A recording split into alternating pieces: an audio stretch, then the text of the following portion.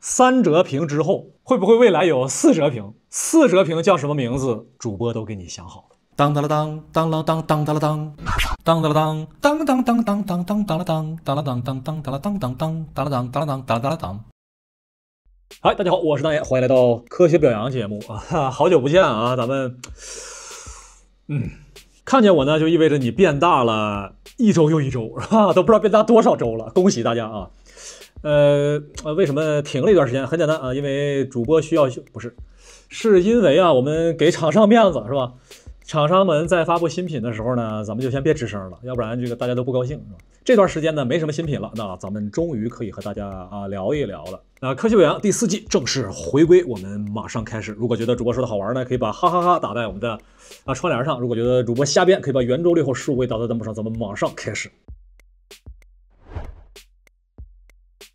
首先，当然是 iPhone 十六，我们的老朋友，他们即将要带来的是诗级别的更新。这次的 iPhone 呢，嗯，确实更新点很多。你可以看到我们这次的十六标准版和十六 Pro 两个版本，这连 logo 的方向都换了啊！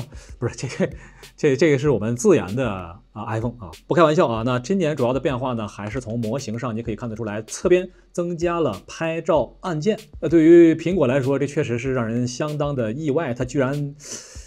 增加了这个功能，嗯，行吧。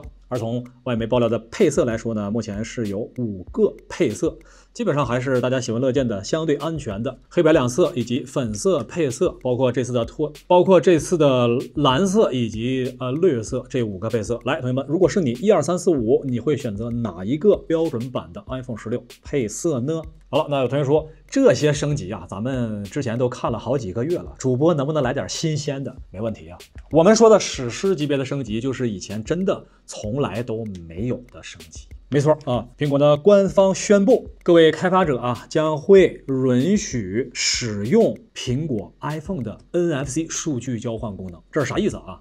呃，我们现在看，不管你是使用手表也好，手环也好，包括一部分的手机也好啊，在经过公交站台啊或者地铁闸机的时候，都是可以非常方便的。去刷一下啊，就是付款了，很方便。但是 iPhone 不行啊，因为 iPhone 它虽然有 NFC，但是它并没有对普通开发者开放。但是在二零二四年的今年，苹果呢终于史诗级别的宣布开放 iPhone 的 NFC 芯片给第三方，允许第三方进行非接触式的支付，这真的是一次大的更新。来自苹果官方的文件啊，对于这些方面呢，给予了详细的说明，特别是对于隐私方面，强调苹果一贯保护用户的隐私。当然啊，熟悉咱们节目节奏的同学应该都了解，当我们说一件事儿的时候，往往要注意到细节和小字儿。苹果在这份开发者协议里面明确表示，如果你想作为开发者啊，想使用 iPhone 的 NFC，那么你需要和苹果签订一份商业协议，申请 NFC 的授权，且支付。相关费用让你白用啊！来，朋友们啊，对于苹果这一波操作，满分一百，大家打一个分数。好，关于支付费用这块啊，我看很多人打了一个 不是那么理想的分数，我看你们是不是有点不满呢？不是，咱们是要客观的看待这件事情，是吧？就不要不满，我觉得你应该知足，是吧？甚至应该觉得感恩。为啥这么说呢？你知不知道，在苹果的 App Store 上架的那些软件抽成百分之三十啊？那我们这个协议还没说抽成的事儿呢，是吧？只是说你给一个相关的授权费用就行了，还不满足呢？啊，就就就只收你一个授权费，还想怎么样？难道你要抽百分之三十吗？其他手机厂商表示啊，大哥，这这也能收钱的吗？那废话是吧？要不然人手怎么来的？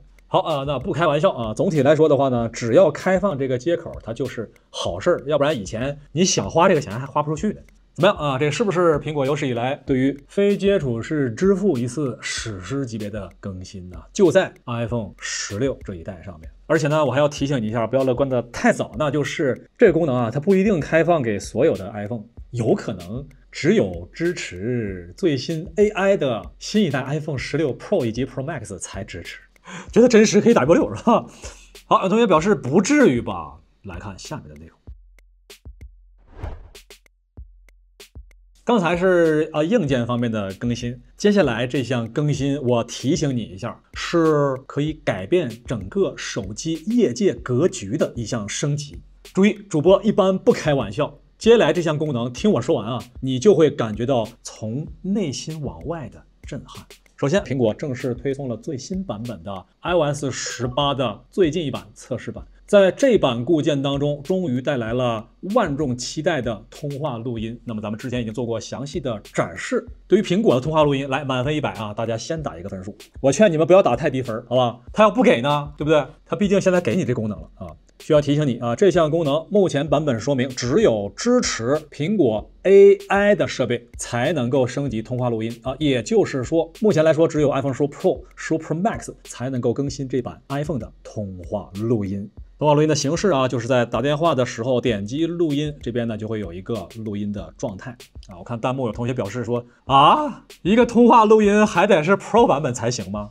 不是你你们，哎呀，我们的通话录音是通过了。AI Apple Intelligence 实现的是吧？不是一般的通话录音。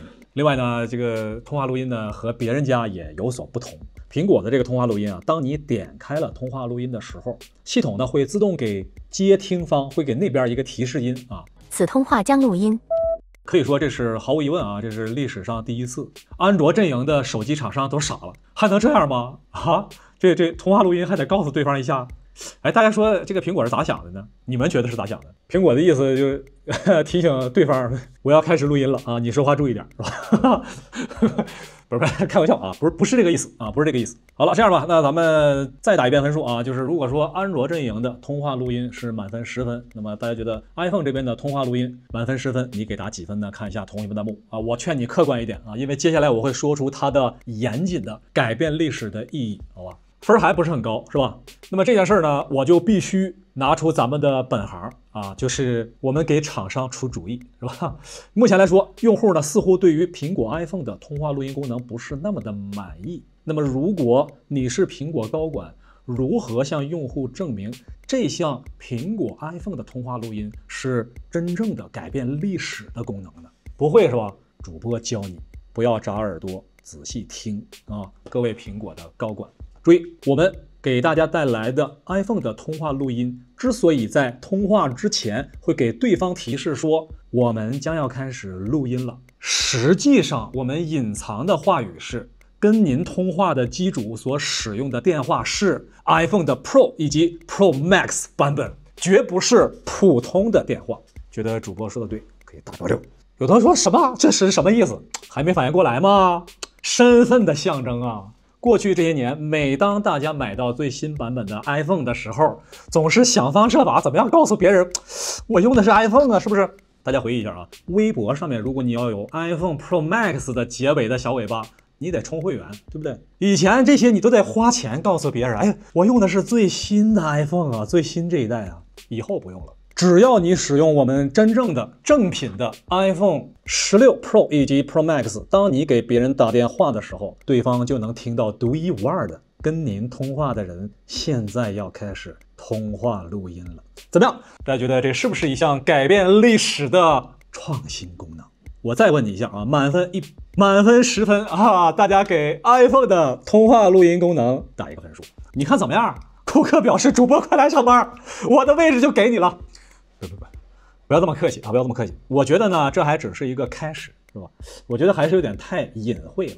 目前给对方的通话录音提示啊，还仅仅是呃，录音将要开始 啊，将要开始通话录音。我的建议是，咱们不妨啊，就把机型就大方点，咱就说出来，对吧？通话的时候，对方点开始录音啊，对方马上听到的声音就是您正在通话的机主使用 iPhone 十六 Pro Max 将会开始通话录音，怎么样啊？大家觉得我的这个方案啊，满分一百分，你可以给打几分呢？咱就别隐晦了，是不是？还还还即将开始录音，你就直接说出机型就完了。未来的话呢，咱们可以再丰富一点啊。跟您通话的机主即将开始录音，他所使用的手机型号是全球首发 iPhone 十六 Pro Max 1TB 非海南免税顶配国行海湾蓝皇帝版，录音即将开始，才够尊贵。而且这个事儿呢，就是有可能未来会为什么说它对历史会产生影响呢？以前咱们经常说啊，大家可能打开安卓手机通话录音开了也就开了。谁知道你用的是啥呀？对不对？以后咱们全都加上，是不是？那那那我用 Redmi 的手机是吧？就就咱就不吱声了啊！哎，我用的是小米十四 Ultra 是吧？未来我用小米十八 Ultra，这录音都在提示着点，是不是？OPPO、vivo 大旗舰是吧？华为的 P 七零是吧？这这都在说呀，是吧？最好还配上这个徕卡的广告声音是吧？这你信不信啊？只要苹果它推出了型号提示音的功能，以后各种各样的通话录音前边全都得加前缀，是吧？是不是改变历史？行了行了啊，不开玩笑了啊，咱们停啊停，差不多得了。这个这个就是你只看到了第一层，库克他在第八十八层，是吧？你只看到了第一层啊，苹果它在十八层。还有同学表示，我能不能不听对方的广告，是吧？我不想听他使用的是什么手机型号，没问题，您可以充值会员，哈哈，您可以充值会员啊，就可以减掉前方的机型介绍，怎么样？就就给厂商想一些创收的方式，是吧？极客零零幺、极客零零七，新品发布，本周呢是登上热搜。这其中啊，确实还有些争议啊，不知道大家是否了解？知道这个事儿的同学可以打个一啊，不知道可以打一个二。看一下同学们的弹幕。先说啊，这个车是好车，原来呢我也试驾过，各个方面都不错。但之所以引起一些争议的原因在于呢，就这个车型吧，它在年初的时候是在卖二三款，年终的时候呢是在卖二四款。这一周这个发布会呢带来了二零二五款。也就是说呢，它这个发布节奏有点太快了，导致呢之前提车的用户呢就表示你这你这不是极客呀，你你这不成刺客了吧？当然啊，极客呢也意识到这个问题啊，所以呢表示针对于极客新车首任车主啊，如果你之前啊已经提车，那么我们可以有一个这个尾款抵一万元的算是权益啊，这等于是给老车主咋说呢？就是。嗯，这个事儿我本来不想聊啊，就是但是很多同学这个后台发了不少私信，你说这个事儿我们要聊了之后，确实会得罪很多的人，是吧？车主也得罪了，厂商也得罪了，有没有一个都不得罪的办法呢？大家觉得把你架在这个架子上烤了哈，想个什么办法呢？有同学说不聊就行了。知不知道咱们这个节目原来叫什么名字？呃，行了啊，不开玩笑啊，这个这个各方面都有各方面的难处啊，但是呢，这个事儿总还是得解决。如果我来解决，应该怎么办呢？绞尽脑汁啊，想了一晚上，其实只需要改一个字儿就解决了。前几个月呢，卖的是极客的二零二四款。其实只需要把这个海报从二零二五款的极客改成二零二四智驾款，一切都解决了。哪怕你的配置高一些，价格涨一些也没问题。我估计到到这里，大家可能还没反应过来是什么意思啊？咱们来说一下，这是 Redmi 的 K 七零，不管你是什么 Pro 版啊、至尊版，这都无所谓。你同期发的啊，后边你比如发了 Pro 版也好啊，你发了 Ultra 版、Max 版都可以，你同期发了这些。那么隔了两个月之后，如果你发了一款 K 八零、K 七零的机主，他肯定不高兴。但是如果你在两个月之后发布了一款 K 七零的兰博基尼联名版本，前面的机主啊，他不会有太多的反应，是吧？而且啊，加了联名之后呢，你还可以理所当然的把价格稍微提一提，是不是？新老机主啊都觉得可以接受，对不对？回到咱们刚才的办法。年终卖的二零二四款极客，八月份开始发布的二零二四款智驾版，不行，咱再来个联名，二零二四款极客兰博基尼法拉利联名版，对不对？价格往上提一提也没问题啊，也不会影响到老车主，而且老车主还觉得，哎，你看我们这和大品牌做了联名，不也挺好吗？觉得主播说的对，可以打一波六。哪有那么多可以吵的呀？是不是？哪有那么多闹心事儿啊？你改一个数字，这问题就都解决了。车。还是那个车，配置也是那个配置，增配增价格也都没问题，只需要让老车主感觉到不闹心就结束了。极客表示，千万不要让库克把主播挖走啊，赶紧把他拽来上班。第二天，极客表示，马上推出科技美学联名版。哈哈，啊停，说归说，笑归笑，那我们看厂商后续到底是怎么解决这件事情的。目前呢，官方信息，各大媒体呢已经报道，极客表示呢，针对已经下订单的老款的车主，可以升级至二零二五新款，而且是免费升级。这是媒体报道的标题，而这边呢是极客官方所发的公报，那这边写的是八月十三号之前，所有下定未排产的二零二四款的极客用户，都是可以免费升级到二零二五款完成。哎，也不知道今天咱们聊了这个之后，会不会引起很大的争议啊？因为这个事儿，这个事儿确实是对于老车主来说是是是挺闹心。因为它这个不光是涉及到一个啊，算了，不多聊。就刚才我觉得这个办法是我能想到的，大家可以接受的一个最好的办法了。而且你看，在手机领域里边已经有一套非常成熟的解决方案了。华为啊，即将带来2024年最重磅的旗舰款，那就是下面这款三折屏手机。根据各家新闻媒体报道呢，从最新的爆料来看啊，那余承东在出行的时候，有人拍到他使用这一款从未见过的设备。根据这个角度推测，应该是一款三折屏的手机。来，朋友们，满分百分，大家对这款产品来一个预期吧。你觉得这款三折屏能打多少分啊？我看啊，之前有评论表示说这是假的吧？能不能是拿一个对折屏手机做的一个 PS 啊，造的假图啊？一开始呢，我也有这个担心，直到这两天又有一个新的爆料出来，余承东呢在参加一场活动的时候，在这个角度我们可以看到他拿着一款从没见过的华为手机设备，而这款设备从侧面看有非常明显的三折痕迹啊，三片屏幕，两片的转轴区域。如果呀，你还不相信，我们又找到了近期华为公布的一项专利啊，那就是三折屏的专利。你可以看到，从形态上说，和咱们刚才于总展示的这一款应该说是别无二致。而从这角度来看，感觉上是真的不厚啊。原来我最担心的无非就是三块屏幕叠在一起，那得有多厚啊？就像你现在一个双折屏，前面再加一个屏幕，得变成这么厚。这也太厚了啊！但是从余承东手里拿的这块啊，感觉似乎没那么厚。而且不光如此啊，这个三折屏呢，可能还会有更多的状态啊，比如说它可以通过反折的方式来实现类似支架的功能啊，三种支架这种方式是吧？那大家觉得啊，这款产品一旦面世啊，能否引起新一波的风潮呢？你认为它将会是引领未来几年手机形态的先锋之作吗？觉得会打一个一啊，觉得不可能啊，昙花一现打一个二。看一看同学的弹幕，好，支持和反对的声音都有啊。我看弹幕呢，还有同学表示说，别的厂商不是有那个什么环形屏幕，对吧？像转轴屏等等啊，之前 Mix 那个系列的机器，对不对？那别的厂商不一定就研发三折屏，它可以研发转轴屏啊。确实，之前几年的国际展会里边，我们都曾经看到过不同厂商带来的转轴屏啊，就是像拉出来的这种啊，旁边是一个像胶卷似的那种感觉。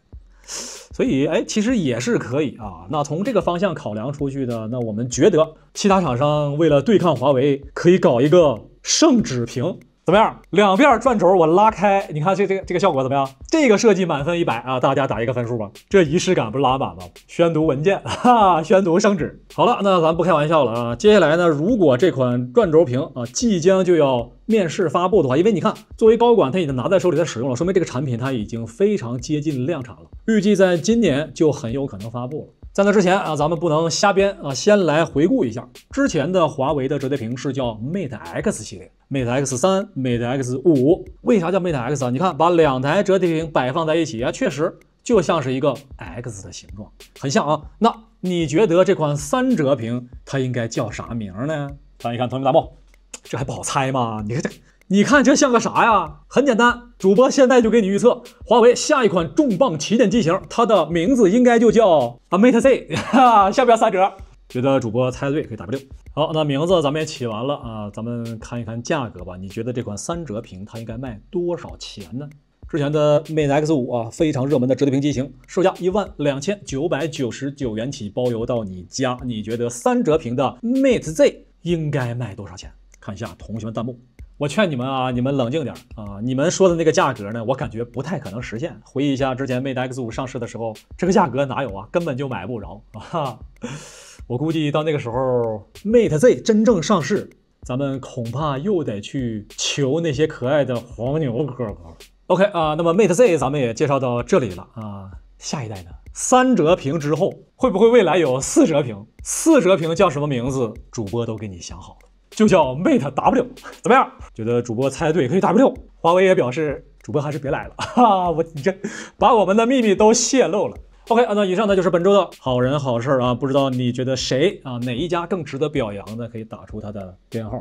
科技美学科学表扬正式回归第四季节目了。如果还想看到主播疯狂表扬各家厂商，赶紧点一波关注，要不然下周你又看不着我了。我是大爷，这里是科技美学，我们下周节目再见。祝大家都有强壮的身体，多赚 money，天天都能休息，每天还有花不完的法定货币。感谢大家的点赞。哎，这是谁掉的硬币啊？给大佬们磕头了。下周别忘了还来玩啊！它这个展开，我量了一下，应该有十寸左右呢。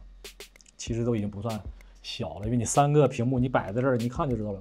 你看咱们把三个三个屏幕摆在这块儿的时候，它的尺寸已经和十一寸的这个 iPad 非常接近了。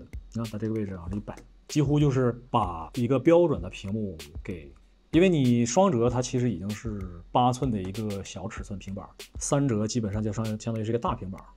而且华为它做这个是有自己的优势，因为华为它呃鸿蒙它的那个流转，包括它的一些像 PC 级别的 WPS 之类的，都是可以在它的平板上去操作的。呃，但是你那个 PC 级的软件在手机上它肯定操作很困难。呃，如果是这个平板的尺寸以就这个手机的尺寸我展开和真正的大平板已经差不多了，那我就可以真的在这台手机上去使用呃 PC 级别的软件。